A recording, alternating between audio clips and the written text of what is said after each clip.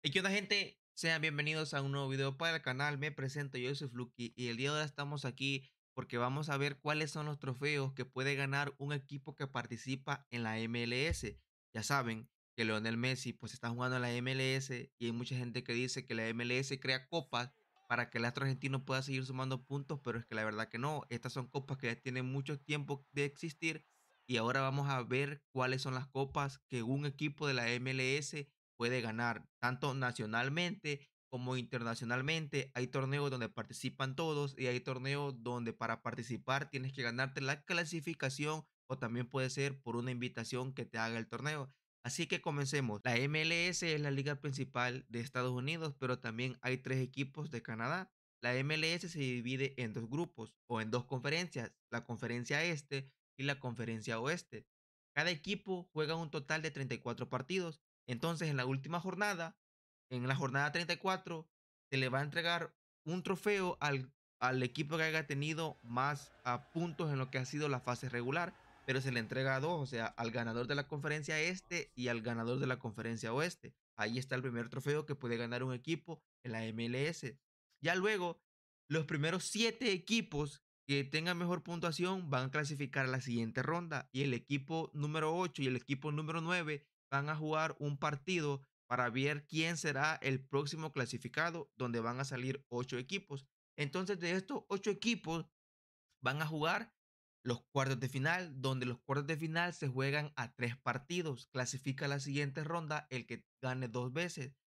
Ya las semifinales van a quedar cuatro, cuatro equipos entonces, esto sí ya es una eliminación directa a un solo partido y se va a jugar en el estadio del que haya hecho más puntos.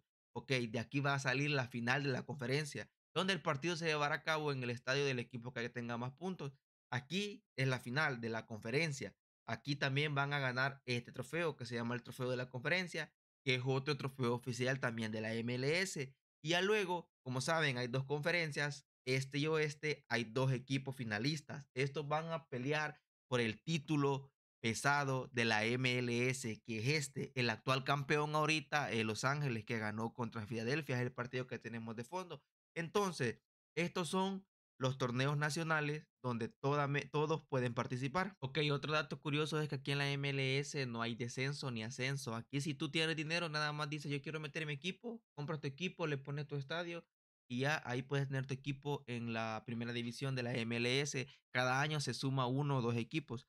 Entonces, ahora hablemos de la, de la US Open Cup. Esta copa viene siendo como la Copa de Rey de España, donde participan todas las divisiones del país. Aquí participa la división abierta, tercera división, segunda división y primera división.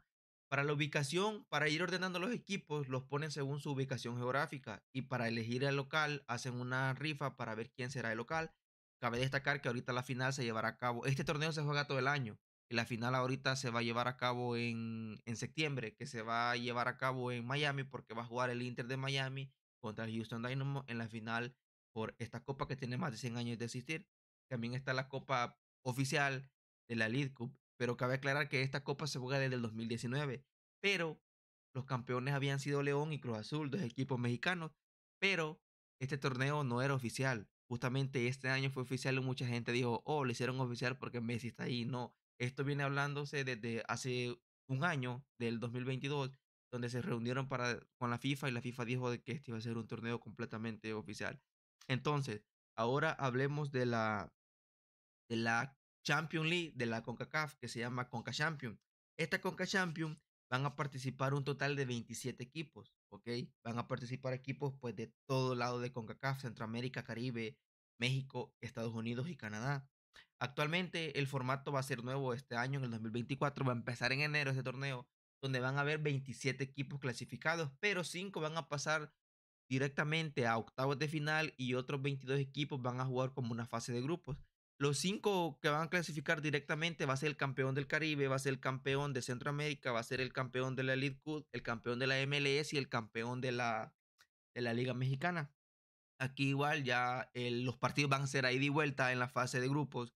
Perdón, en la ronda eliminatoria van a ser ya a, a ida y vuelta y ya la final va a ser a un partido único y el que gane pues gana. Y el que gana de aquí va a clasificar al Mundial de Clubes.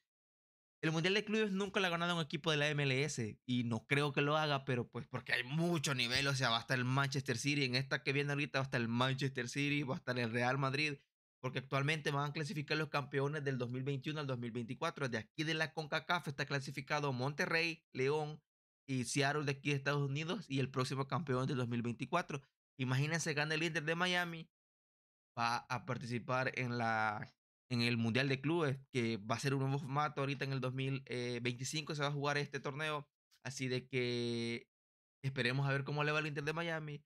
Y eh, también está otro torneo que no es oficial, pero se llama la Campeones Cup, que este torneo se lleva a cabo entre el campeón de la MLS y el campeón de la Liga Mexicana. No es un torneo oficial, no es oficial todavía por la FIFA, pero pues tal vez pronto lo hace oficial, puede ser como una supercopa, pero pues esperemos a ver qué pasa. Y también por ahí se escuchan eh, unos rumores de que la Comebol quiere invitar a equipos de la CONCACAF para que vayan a jugar a Libertadores y están hablando de las Copas Panamericanas, pero todo esto Falta que salga más información para ver cómo queda. Y pues así es como un equipo de la MLS puede ganar hasta seis trofeos en un año. Y creo que nunca nadie ha hecho eso, nunca nadie ha ganado tantos trofeos. Pero ¿qué tal el Inter de Miami con todas las estrellas que está ganando? Puede que haga historia y haga lo suyo.